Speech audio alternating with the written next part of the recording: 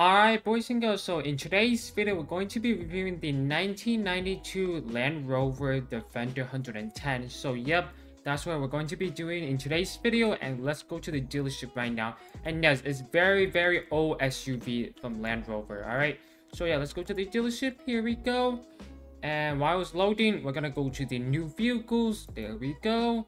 And as you guys see, this is the 1992 Land Rover Defender 110. And nope, it's not limited, alright? It's different one. The one I reviewed, the limited car is Defender 90. So this time is 110. Alright, so the price is $340,000. Okay, kind of pretty expensive though.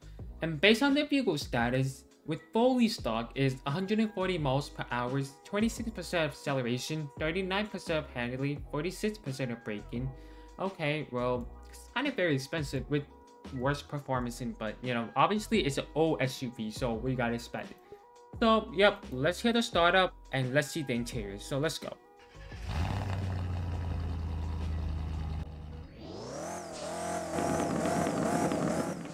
Okay, pretty good startup, pretty good ramp. Okay, I gotta be honest with you.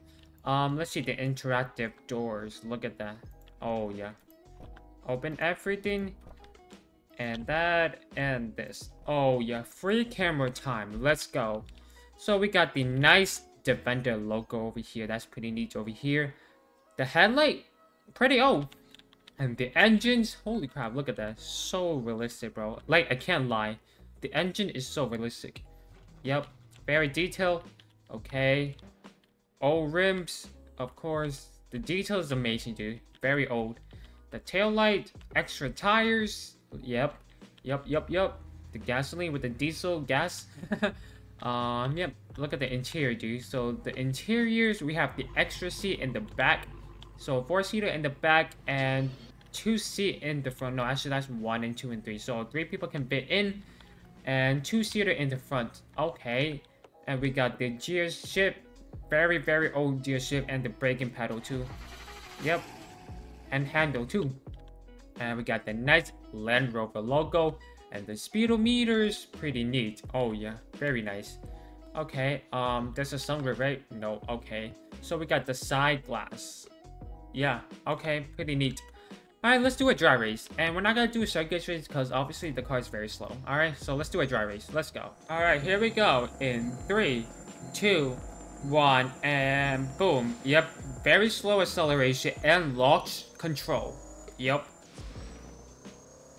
Yep, very slow. I feel like we're gonna get like 12 second or 11 second. 12 second, yep.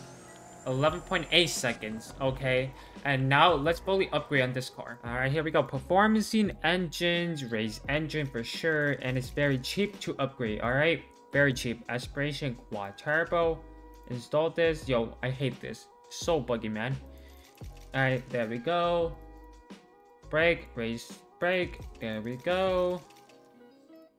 Tires, race tires, there we go.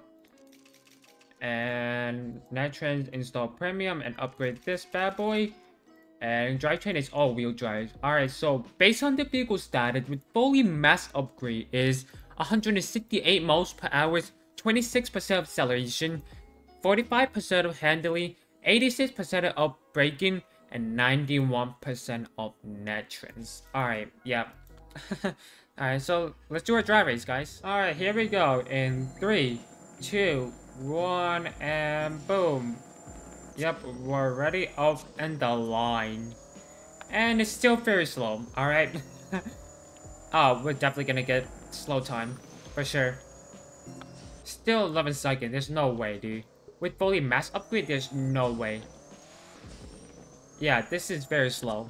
Alright, let's check out the suspension, but we can do the up-road race, not gonna lie. So let's do the up-road rally race.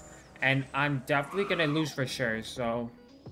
Yeah, we're racing against the Hennessy Venom GT. And that's not a good sign. Alright, we're gonna do it anyways.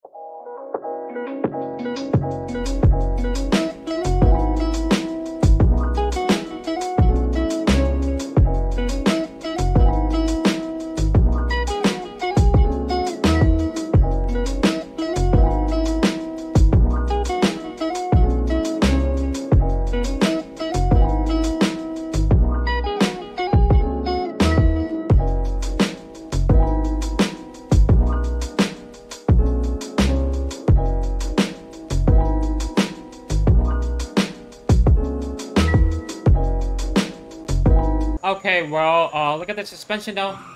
Oh, okay, well, what that that was a worst start. Anyways, um, I'm in third place. Oh, I beat the NPC. Oh, that's good. That's a good sign. So we got 2 minutes and 32 seconds. Honestly, this car is not that great to be honest, if I'm gonna be honest with you. But the suspension is very satisfying to watch, not gonna lie. Look at this. But is it really worth it? The price costs $340,000 or something, right? If I'm not mistaken. But the price is very, very expensive. So, I would rather not buy this Range Rover, but I will keep it as a car collection, not gonna lie. But it's very slow. And yeah, the suspension is very satisfying, obviously. Yep. Yep, that was so nice to bounce. Look at that. Yep. Alright. Oh yeah. Oh yeah.